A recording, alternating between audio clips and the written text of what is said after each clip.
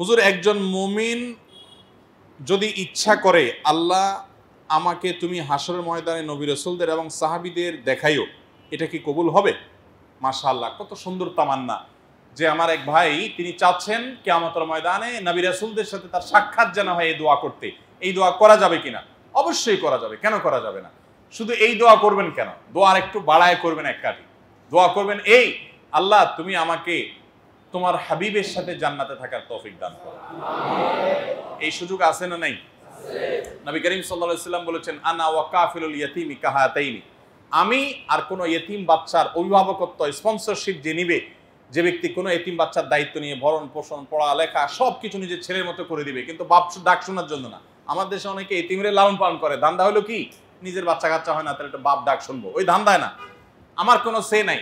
তার মা তার সকল উপার্জন ভোগ করবে। আমি শুধু পড়াই দিলাম, খাওয়াই দিলাম, জামা কাপড় দিলাম, শুধু আল্লাহ খুশি করার জন্য।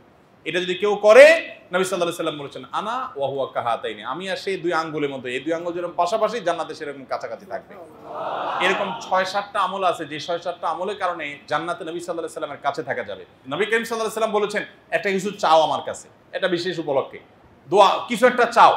তো বলছে আল্লাহ রসুল, আপনার সাথে আমি জান্নাতে থাকতে চাই। সাহাবিরা চাইলেও বড়টা চাইতেন। আমরা হলে কি বলতাম? আল্লাহ জানে কি বলতাম।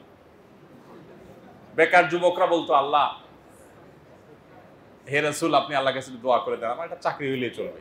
বেশি না, পঞ্চাশ হাজার টাকা স্যালারি হইলে চলবে। আমরা এসব চিন্তা করতাম, তাই না? সাহাবিরা কিন্তু খুব বেশি টাকা পয়সার দিক থেকে আমাদের মতো এত পয়সা আলা ছিলেন না তো, তাই না? অথচ আল্লাহর কাছে চাইছেন সবচেয়ে বড়টা যে আল্লাহ রসুল, জান্নাতে আপনার সাথে থাকতে চাই। মানে এতে তো জান্নাতের নিশ্চয়তা তো হলো হলো, নবীর সাথে থাকাটাও হয়ে গেল। কত বড় চাওয়া। তখন নবী করিম সাল্লাহ সাল্লাম বলেছেন, ঠিক আছে, ভালো কথা, তুমি চাইছো তোমার চাওয়া পূরণ হতে পারে, তবে একটা কাজ তোমাকে করতে হবে। কি? আইননি আলা, আইননি বিকাশরাতি সুজুদ। তুমি আমাকে বেশি বেশি সিজদা দিয়ে, বেশি বেশি নামাজ পড়ে সাহায্য করো, তাহলে তোমাকে আমি কাছে রাখতে পারব। তো অনেক আমল আছে, আপনি শুধু দোয়া করবেন না, নবী রাসুলদের সাথে সাক্ষাৎ তো হবে এবং নবীজি আসলামের সাথে সাথে থাকবেন, এই আমলগুলো বিশেষ করবেন। অনলাইনে আমাদের একটা ভিডিও আছে, যে আমলগুলোর দ্বারা নবী ইসলামের সাথে জান্নাতে থাকার সুযোগ আছে। অনেকগুলো আমলের তালিকা হাদিস থেকে আমরা বের করে নিয়েছি। সেগুলো আপনি দেখে নিতে পারেন। আসুন্না ফাউন্ডেশন, উম্মার স্বার্থে, সুন্নার সাথে।